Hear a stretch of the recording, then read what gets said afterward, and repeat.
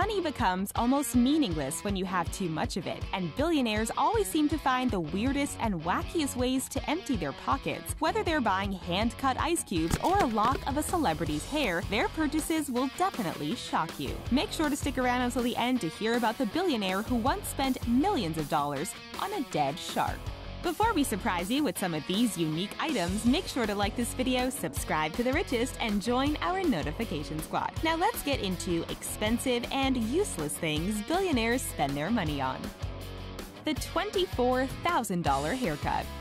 Most of us are happy to spend a bit of money on a haircut. We'd rather spend a few extra dollars to get a good trim instead of cutting costs and having to wear a hat until our hair grows back in. But one billionaire won't accept anything except the very best when it comes to his hair. And he's not afraid to spend a ridiculously huge chunk of money on it. Haji Hassanal Bolkiah, the Sultan of Brunei, once dropped more than $24,000 on his haircut. The Sultan regularly flies his barber halfway across the world from London to cut his hair. The barber usually charges $40 for a haircut, but he gets an all expenses paid trip whenever he cuts the Sultan's hair. The Sultan was even once so worried about catching swine flu back in 2009 that he paid for his barber to be flown in a private luxury airplane cabin at a cost of $18,000.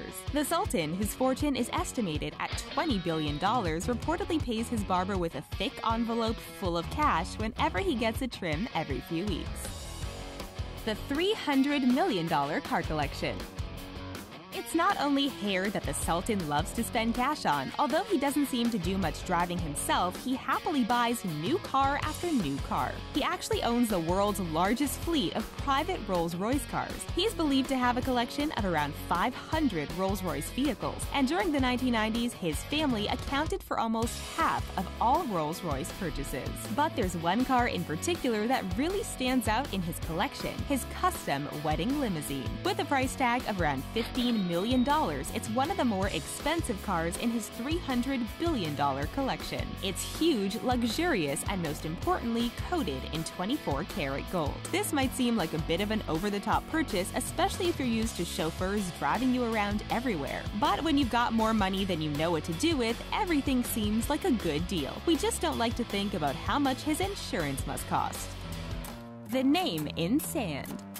If you could buy anything in the world, what would it be? You might pick expensive jewelry, clothes, or houses, but one billionaire decided to branch out a little. Hamad bin Hamdan Al Nahyan, a super rich Arab sheikh, decided to spend some of his dollars on something unusual. He had his name written in sand. But while most people's sand writing washes away as soon as the tide comes in, Hamad wanted to ensure that his name would be etched into the grains forever. First of all, he purchased Al Futaisi Island in Abu Dhabi. Next, Next, he requested workers to dig so deep that the letters would form waterways and exist forevermore. The word Hamad measures 1,000 meters high and is a staggering 2 miles long from the H to the D on the island. Hamad dreamed up the idea and had his workmen toil for weeks to craft the enormous piece of sand graffiti. It's not known how much it cost to make, but we can guess that it was definitely a pretty penny. The 27 story apartment. What would your dream home look like? For one billionaire, his dream home is a 27 story skyscraper that was built exclusively for his family of six in Mumbai. In case you're bad at math, that's 4.5 skyscraper floors per family member. Mukesh Ambani, the chairman of Reliance Industries, spent a cool $1 billion on this huge building, and he doesn't even live there full time. This impressive house has its own 50 seat movie theater, parking for 160 cars, and requires a staff staff of 600 to keep it going. With 27 floors, it could certainly take a lot of walking to reach the top, but luckily Mukesh installed 9 elevators in the lobby, so you'll never have to wait too long for a ride up to the highest point. Also included in this incredible apartment is 6 floors of parking, that's one per family member, outdoor gardens, a swimming pool with a gym and spa, and even a maintenance floor. You can't say that Mukesh forgot anything when he was dreaming up his ideal home the $60,000 phone bill. Jocelyn Wildenstein is a billionaire socialite originally born in Switzerland who's famous for her extravagant lifestyle. At one point, she was worth more than $2.5 billion, but she apparently wasn't very good with her money because she eventually filed for bankruptcy. But when you hear exactly how Jocelyn spent her money, you probably won't be too surprised to hear that she managed to give it all away so quickly. Jocelyn liked to spend a lot of time on the phone arranging plastic surgery appointments and chatting to her friends. But because many of them didn't seem to live in the same area, she ended up with a hefty phone bill. While some of us might freak out if our monthly bill comes in a few dollars more than it was supposed to, Jocelyn took her long conversations a little too far. Her annual phone bill at the peak of her fortunes came in at around $60,000. We all appreciate a good catch up with a friend every now and again, but were her conversations really worth $60,000? The lock of hair.